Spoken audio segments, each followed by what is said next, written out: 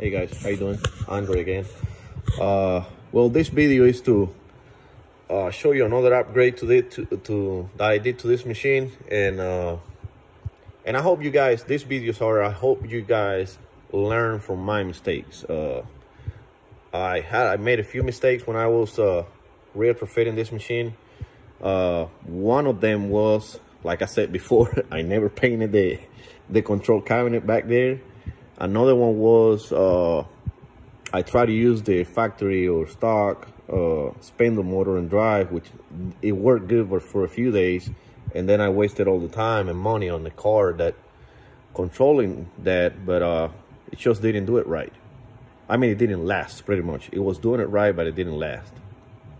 So I, I end up just buying a spindle, brand new spindle motor and drive and all that, and you you seen it.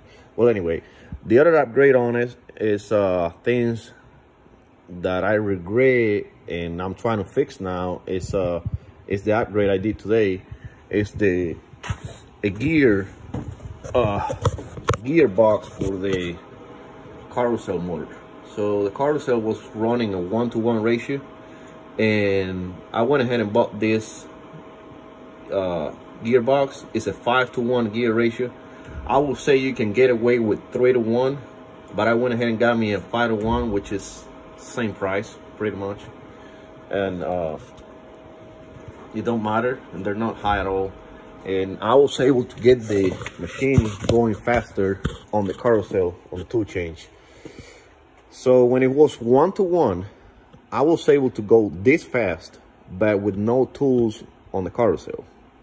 So when I start putting weight on over the carousel I will be I will trigger the alarm on my servo overloading and stuff like that the stepper was not able to keep up with all that load on it.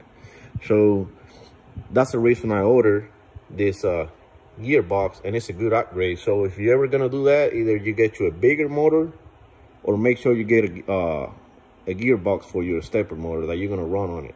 Besides the factory motor that was there, it had a gearbox in it. So it was, uh, I think a 10 to 1 or whatever, uh, three phase motor anyway let me see it. Try to shoot the tool change right here.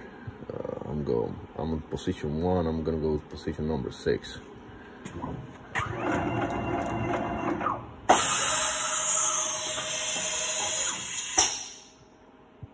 Oh you're saying it's it's it's fast.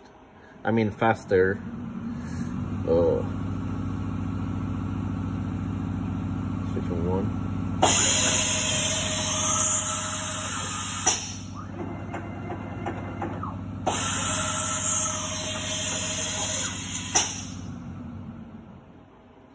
position, we're in position one. Let's go number two.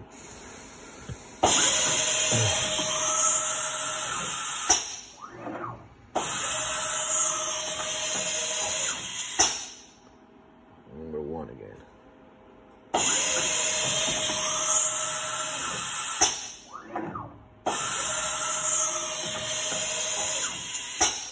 So you've seen us it's a bit faster than what it was. I'm happy with it. My stepper, closed loop stepper, whatever, is not overloading anymore at that speed. Even the, I got all my tools on the carousel now, and I might put a bigger tool, maybe a three inch uh, end mill or something like that, and it'd be maybe too heavy.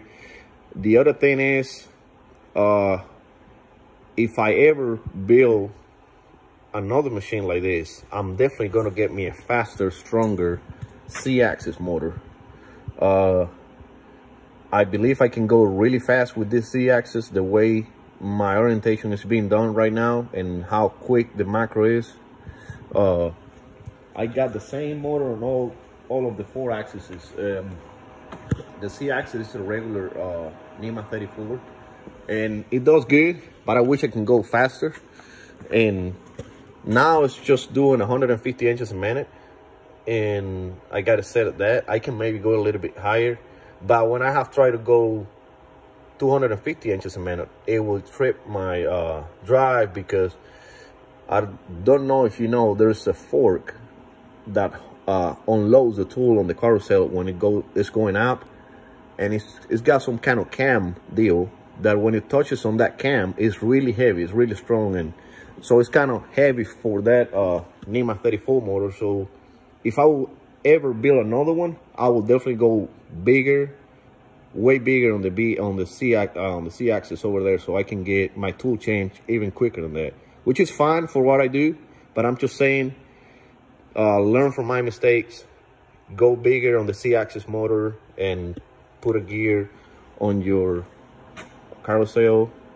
Do not use the stock spindle motor like I did, and I don't know, a few of the things that they will probably come up later.